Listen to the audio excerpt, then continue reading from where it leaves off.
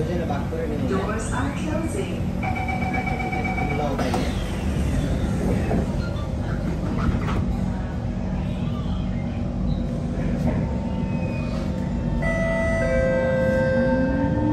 Next station, Moon Lane.